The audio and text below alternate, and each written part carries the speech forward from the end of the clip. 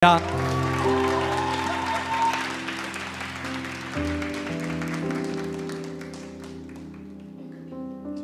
各位弟兄姐妹平安，我是招待团的陈婷，然后很高兴今天有机会可以来分享我在服饰上的见证。那今年青纳特会对我来说很特别，不仅是因为这是出国两年后回来第一次参与的特会，更是因为在特会过程中，上帝很深的安慰鼓励我的心。在一连串因缘际会之下，我从节目组跨组支援特会门口的防疫，因而与机动组有很多的配搭与互动。第一天我就在对讲机中听见了一个很耳熟的名字，后来看见本人的时候就更觉得面熟，可是我却怎么样也想不起来我到底在哪里遇过他。第二天晚上陪机动组开完会之后，我就问了这个妹妹说：“哎，你是不是跟我一起服侍过啊？”她的眼睛马上亮起来说：“对对对，是二零一六年的天国文化。”我更加确定我能记得他不是偶然，更可以说是上帝放在我心里的记忆，因为那年的招待童工有一百八十多个。而且分配分配给牧区南下的十多位招待领袖，所以能够记住其中的人其实是非常不容易的。他接着跟我分享，在过去他们教会的招待团在服饰上常常找不到自己的定位，好像没什么厉害之处，也没人看重他们，因而心里很自卑。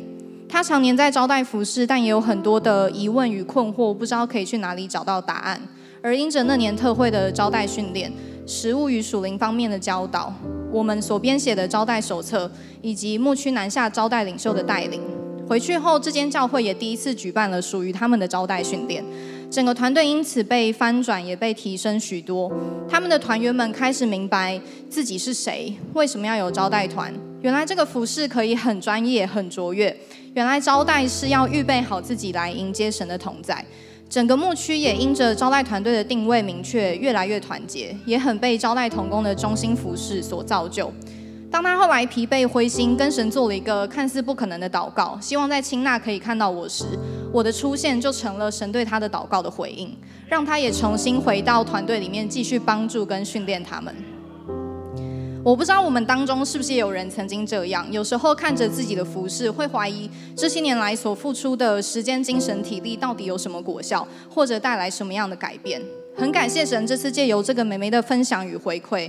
让我知道，很多时候服侍神，其实就像那一首歌《Waymaker》里面所唱的：即便我看不到或感受不到，甚至无从得知；即便特会跟崇拜好像一场一场、一周一周的过去，上帝一直在做工，也仍然在使用我们的服饰去祝福他人，且从未停止。因为我们所投注的时间、体力、精神，就是我们的奉献，所以爱我们的上帝从来不会轻看，也绝对不会是突然的，甚至我们的服饰会成为别人祷告的回应。重要的是，当我们在上帝所托付给我们的岗位上尽忠职守时，我们就是又忠心又良善的仆人，而我们也会在那个属于我们的舞台上发挥影响力，结出许多果子来。感谢神使用我，将一切荣耀都归给爱我们的天赋。阿门。来，请您留下。好。所以我们真的很感谢陈陈婷，她去英国嘛，去念书了之后回来，其实是回来放个暑假哈，然后都跟着我们这样东征西讨的。那过去她其实是我们的招待长。然后呢，他年纪非常轻，但是每一个大小特会我都看着他。然后每次我一下去按手的时候，他一定会在我旁边。他已经确认我按的那个人不会摔在地上，然后头撞到地。OK，所以我们真的非常感恩，有一群非常委身的童工在我们中间，连他的放假他都来服侍。然后他马上要回去，所以我们一听到他有见证，我们这个礼拜一定让他上来。OK，接下来我要邀请所有传道童工能够上台来，我们要为他祷告，因为他下个礼拜他就要去英国念，下下礼拜要再念一个硕士。对不对？念这么多要干嘛？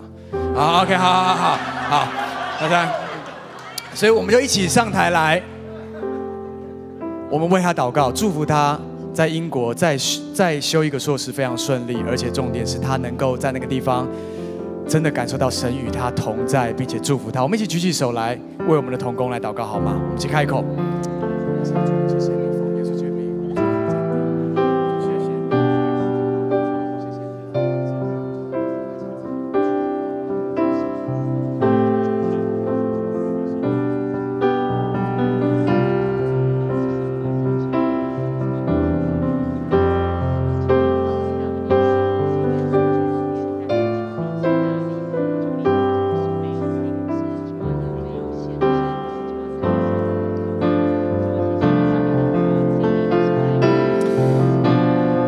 我们感谢你。